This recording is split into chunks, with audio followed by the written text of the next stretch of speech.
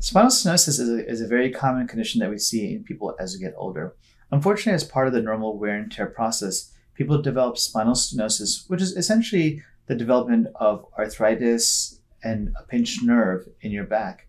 What ultimately ends up happening is that when people have spinal stenosis, they get pain in their back that goes down the leg.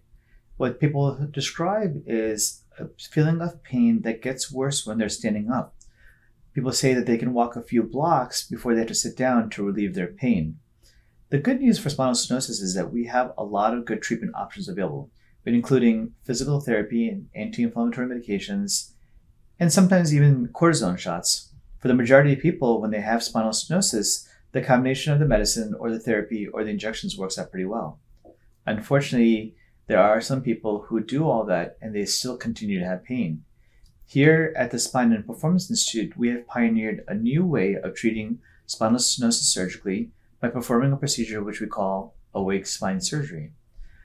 Awake spine surgery is essentially a combination of using sedation and local anesthesia, avoiding general anesthesia, to perform our surgery. Using a small incision along with the local anesthesia and sedation, we're often able to do a surgery in less than an hour and send patients home within a few hours after surgery.